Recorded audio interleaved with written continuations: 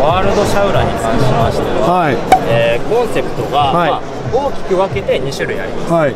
で、えー、と6フィート半、まあ、つまり6号って書いてあるところですね、これがまあ半という表記が12フィートの半分なので6フィート6インチという。あそれでそうなんです。はいわかりました。なので6号っていう形よりも6半っていう言い方の方が、はい。まあ、健全かなと思います。でこの6フィート、まあ、5インチしっかりショートのまあ、これ例えば1652です、はい。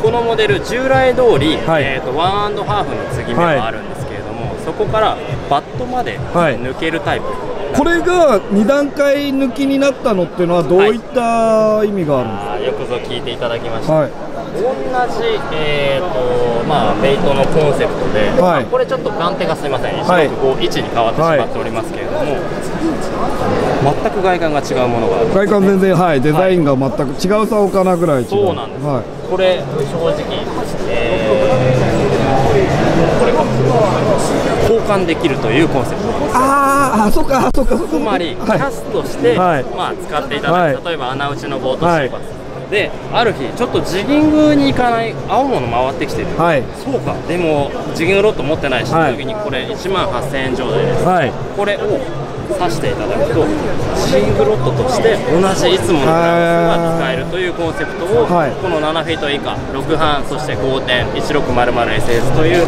まあ、このラインナップにご用意しております。あそのために伝統のワンハーフ1回落ち着いてグリップから着脱するっていうことになったあのワンアンドハーフのレングスでしまうことはできるんです。よはい。まあ、ワンハーフプラスバットという状態。そこの体感は今までと変わらず。そうです。でもさらにまあでも変わってきたのそうです。がそこですね。はい。そのまま今まで通りワンアンドハーフとして使うこともできるんですけれども、状況に応じてはい。バットを交換できるよという、まあはい。プラスの要素を残しているものはいで、まあ、もちろん、えーまあ、スピニングのモデルに関しましても、まあ、同じように伸びたバージョンあーこれは便利ですね、あとシーバスジギングもやるんですけど専用の竿ってそれ用に持ってないといけないんでこの脇で抱えられるグリップいただけるのはだいぶだいぶありがたいなと思って。それこそフィールドで、まあ、これだけ、まあ、はじめさんの方もはい。真っ赤だ、スーパーレッドだっていうふうに言ってるんですけれども、まあ、船で映えるようなはい。デザインっていうのが、正直、今まこれで。なかったは美しいですよね本当。グリップからブランク特性ってのは前回のやつから変わってたりするんですか、えー、と今年度、まあ、いろんなハイエンドのクラスで採用してるんですけれども、はい。スパイラル X コアというはい。コア。構造に、はい。スパイラル X が進化しております、はい。まあ、簡単に申しますと、はい。まあ、スパイラル X の、まあ、カーボンテープのはい。素材自体が、まあ、高強度な素材、はい。まあ、一般的に知られているところでいうとナノアロイとか、はい。そういった素材に変わっておりますのであまあ、強度はプラス、まあ、15%。15%アップ。っていうところから、えーとまあ、そっちに振らないで、はい。例えばまあ軽量の方に振ることができますので、はい。まあ、さらに前作よりも、えーしっかりと軽量化が進んでいる、えーというモデルになっております。でまあ丈夫さは損なわれていない。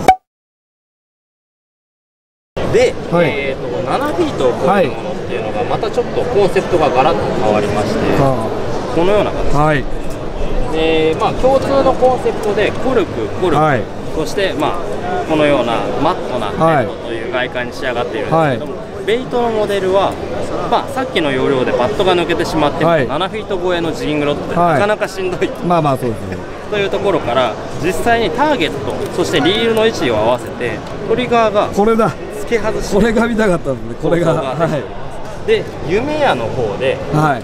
フロントのトリガー、はい。フロントのトリガーがですね、まあ、こう見ていただいて位置がちょっと違う、はい。前側に出て、はい。でオフセットすることによって例えば手の小さな方とはい。かの使い勝手の良さまたは、まあ、リールを実際につけた時に、はい。この状態ですとリールの重心って実は今までのトリガーよりやや前にあるんです。よはいはいはい。そこの重心の真下にトリガーがあることによってシェイクがより細かく疲れにくくというプラスの要素うがーんでもう一つ夢屋で用意しているのが、はい。まあ、同じようにこの後ろ思いっきり後ろに一番後ろ。そうです。もうトリガーのギリギリのところまで、はい。えー位置しているもの。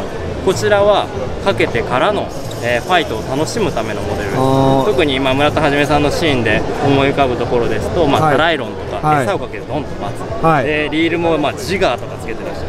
ファイトの時トリガーがここにあるとあの手の魚ってすごく痛くてしんどいんです。はい。そこを、えーまあ、フルホールドしてもらう。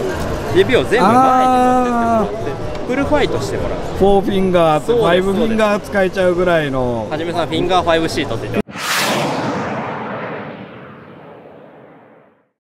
フィンガーファイブシート5はですね なかなかちょっとネズミ返しに続きすごい名前を入れてくるわけですね。そうなんです、まあはい。我々もフィンガー4だと思うんですけど、フィンガー5というガーファイブ仕様があるが実現はい。できるというあで特にこの5番パワーに関しましては、まあ、このような、えーパワーファイトもできますので、はい。まあ、そういった、えーフルホールドのタイプ一番後ろのダブルリアのタイプに変えてもらうことをおはい。勧めできます。で同じく共通のコンセプトで、はい。えー、とトリガー位置は、まあ、このようにオプションでご用意しているので、はい。まあ吊るしの状態だとオリジナルの1個しかまずはついてない。そうなんですよ。スタンダードのこの状態でで販売されている。で夢屋のカスタムパーツで追加で購入。そういうことです。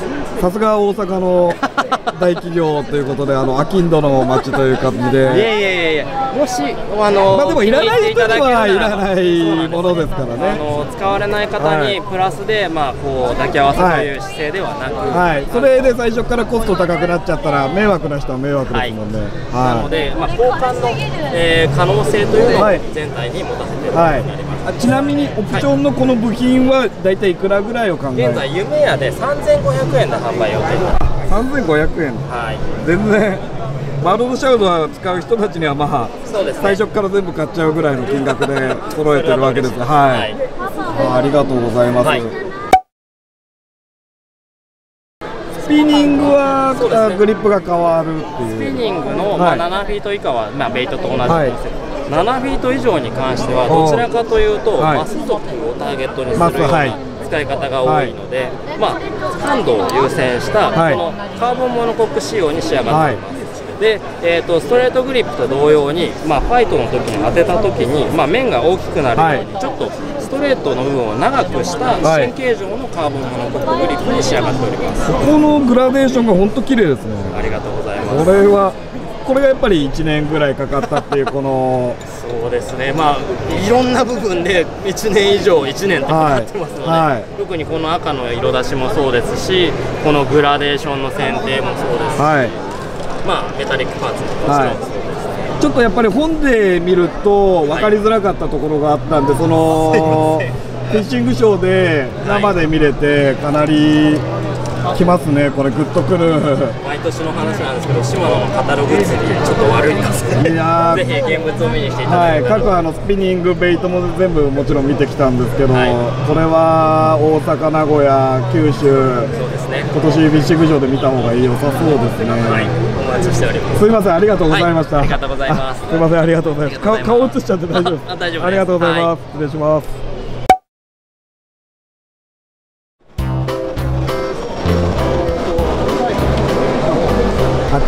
真っ赤っかなやつ。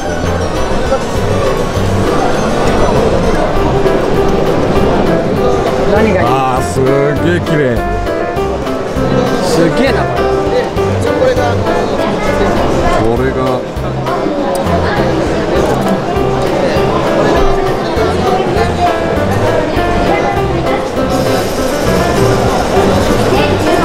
結局使うとなるとどこなのかな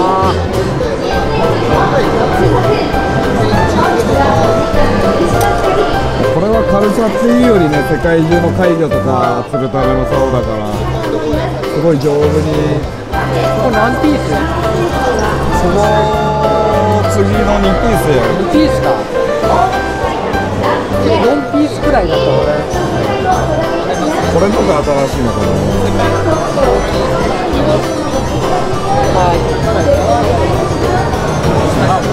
この赤綺麗だな。Thank you.